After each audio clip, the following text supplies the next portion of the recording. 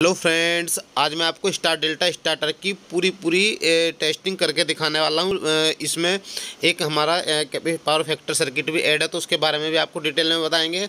और जो इसका बिल ऑफ़ मटेरियल उसके बारे में भी आपको डिटेल में बताएँगे टेस्टिंग पूरी करके दिखाएँगे कि किस तरीके से इसका सर्किट यहाँ पर हमारा वर्क कर रहा है। तो फ्रेंड्स, वीडियो को लास्ट तक देखते रहिएगा। यदि आप चैनल पहले बार जुड़े तो चैनल को सब्सक्राइब कीजिएगा बेलाइकन ज़रूर दबाइएगा, जिससे आपको आने वाले वीडियो का नोटिफिकेशन सबसे पहले मिलता रहे।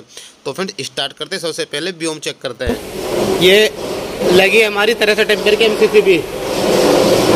उसके बाद हम आए यहाँ पे सिटी पे हंड्रेड बाई फाइव की ये सिटी लगी हुई है। तीन सिटी है अलग अलग पेज में। उसके बाद एक कॉन्टेक्टर लगे हमारे twenty five M A C three में। ये देखें, यहाँ पे लिखे हुए हैं ये तीनों हैं। ये स्टार का हो गया, ये मैन का हो गया, और डेल्टा हो गया है। ये इलेक्ट्रॉनिक ओवर करंट रील है। रेंज देख सकते हैं इसकी है।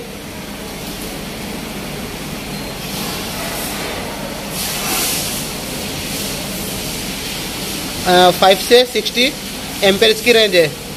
ये पूरा टाइमिंग की सेटिंग है। इसमें दो बटन दिए गए हैं टेस्ट का और रिसेट का। यदि इसमें कोई फॉल्ट आता है तो इसको आप रिसेट कर सकते हैं यहाँ से। जब पावर इसमें आती है तो ये इसकी पावर वाली सप्लाई आती है, जब इसमें फॉल्ट आता है तो ये वाली एलईडीज में ये ग्लो करती है। उसके बाद ये देखें, यहाँ पे सिटी टर्मिनल है। सिटी के लिए यूज़ किए गए हैं। ये स्टार डेल्टा टाइमर है। ये ओवी और यूवी वाली रिल है। और ये ऑक्सिलरी सप्लाई की एमसीबी है छः एम्पेयर की डीपी ये under voltage over voltage relay जो लगी है। इसके लिए एमसीबी लगी है तीन एसपी की। और ये क्यू टू जो हमारी, ये जो कैपेसिटर वाला सर्किट है। इसके लिए ये बत्तीस एम्पेयर की एमसीबी लगी है। ये फाइव के का कैपेसिटर कॉन्टेक्टर लगा है और ये अपना फाइव के का कॉन्टेक्टर हो गया। और ये टर्मिनल हो गए हमारे आउटपुट लेने के लिए यहाँ से। तो उसके बाद फ्रंट में चलते हैं। यहाँ पे देखिए डोर पे क्या क्या लगा है। ये ज़ीरो से 500 वोल्ट का मीटर लगा वोल्ट मीटर लगा है। और ये ज़ीरो से हंड्रेड का मीटर लगा है। ज़ीरो से हंड्रेड सिक्स हंड्रेड ये इसका एमीटर सेलेक्टर से अलग अलग फ़ेज़ में? एम्पेयर चेक करने के लिए देखिए। ये आर फ़ेज़ में आएगी, यहाँ पे वाई में बी में। ये ऑन ऑफ़ ट्रिप की तीन लाइट लगी हैं। फॉल्ट पे लाइट आएगी, जब हमारा सर्किट ऑफ़ रहेगा तो ऑफ़ की आएगी और जब मोटर ऑफ़ ऑन हो होगा तो ये वाली लाइट आ जाएगी। ये वोल्ट मीटर में सप्लाई चेक करने के लिए अलग अलग फ़ेज़ में ये आर वाई देख सकते हैं यहाँ पे वाई बी और ये बी आर उसके बाद मोटर को स्टार्ट स्टॉप करने के लिए फ्रंट में दो बटन दिए गए हैं। ये स्टार्ट के लिए ग्रीन है स्टॉप के लिए ये स्टॉप है। तो इसमें ये वाला बोम दिया गया है इस तरीके से। अब हम इसमें सप्लाई डाल के आपको उसकी टेस्टिंग करके दिखाते हैं। अब इसमें सप्लाई दे दिया इनकमिंग में एमसीसी भी है। तो इनकमिंग में कितनी सप्लाई आ रही हो आपको चेक करा देते हैं। चलो लगाओ भाई आर वाई लगाओ। देखिए आर वाई में फोर ज़ीरो सिक्स वोल्टेज आ रही है। वाई बी लगाओ। ऐसे वाई बी में भी लगभग फोर हंड्रेड की फोर हंड्रेड ज़ीरो थ्री आ रही है। और चलो ठीक है। यहाँ पे वोल्ट मीटर में भी सप्लाई हमारी आ रही है। ये देखिए, ये आर वाई है, ये वाई बी है, और ये बी आर है, और यहाँ पे ये ऑफ़ का इंडिकेशन आ जाएगा, देखिए। जब इसमें लोड चलेगा तो यहाँ पे लोड दिखा देगा करंट दिखा देगा, जितना भी लोड चलता होगा। अभी कोई लोड नहीं चल रहा है इसलिए यहाँ पे ये दिखा नहीं रहा है। देखें यहाँ पे, ये जब स्टार्ट करेंगे तो यहाँ पे ये ऑन की लाइट आ जाएगी ऑफ़ करेंगे तो यहाँ पे ऑफ़ की आ ही रही है। जब मैं आपको ये ई e से इसको ओवरलोड करके दिखाऊँगा टेस्ट से तो ये लाइट आ जाएगी अंडर वोल्टेज से। एक फ़ेज़ फेल करके दिखाऊँगा तो तब भी लाइट आ जाएगी। तो सबसे पहले हम इसको स्टार्ट करते हैं। ये स्टार्ट बटन है। चलो स्टार्ट करना भाई। ये देखिए स्टार्ट किया। स्टार से डेल्टा में तुरंत चेंज हो जाता है वो। ये टाइमर है। टाइमिंग आप इसकी सेट कर सकते हो। देखिए यहाँ से वन सेकंड से हंड्रेड सेकंड तक की इसकी टाइमिंग है। रिक्वायरमेंट है जितनी भी आपकी, उतनी यहाँ पे कर सकते हैं। हमने यहाँ पे तीन से चार सेकंड यहाँ पे किया हुआ है। टेस्ट करने के लिए। तो ये हमारा स्टार्टर अभी होने देखे कॉन्ट्रेक्टर पिक है ये। तो अब आपका आउटपुट दिखा देते हैं। यहाँ पे आउटपुट लो भाई। ये देखो यहाँ पे फ़ेज़ टू फ़ेज़ आर से आर में क्योंकि यहाँ पे इसमें फ़ेज़ सिक्वेंस चेंज किया हुआ है, देखिए। पीछे आर है, इधर वाई निकला है। पीछे वाई है, यहाँ से बी निकला है और बी से आर निकला है। तो इस तरीके से यहाँ से आर से आर में यहाँ पे सप्लाई आ रही है आर टू आर ऐसे वाई टू वाई देखते हैं यहाँ पे।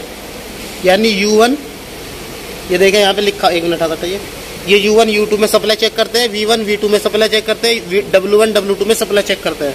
तो लगाओ यू वन यू टू लगाओ दोबारा से। यू वन यू टू लगाओ।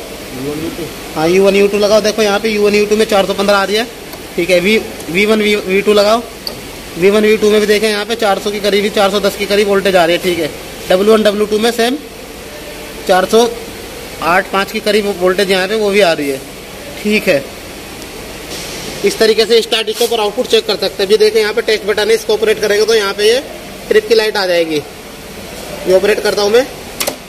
तो देखिए यहाँ पे ट्रिप की लाइट आ गई और ये मोटर ट्रिप हुआ है यहाँ पे स्टॉप हो गया है।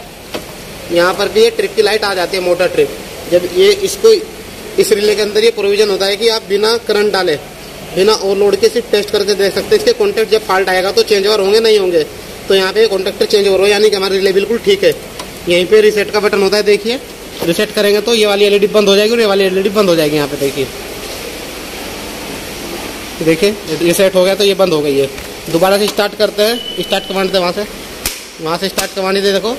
यहाँ पे स्टार्ट हो गया। उसके बाद में आपको इसमें कर देता हूँ। कोई भी फ़ेज़ इसमें डाउन करूँगा तो तब भी बंद हो जाएँगे। कॉन्ट्रेक्टर बंद हो जाएँगे और यहाँ पे आउट आउट की एलईडी बंद हो जाएगी। ये देखें, यहाँ पे आउट की एलईडी बंद हो गई है। और ये स्टार्टर हमारा बंद हो गया और सेम वही फ़ंक्शन यहाँ पे देखिए। स्टार्टर हो गया, यहाँ पे मोटर ट्रिप हो गया, यानी कि हमारे यहाँ पे कोई, इसमें मोटर में कोई फॉल्ट हुआ है अंडर वोल्टेज का ओवर वोल्टेज का कुछ भी हो सकता है तो उस कंडीशन में मोटर यहाँ पे रुक जाएगी।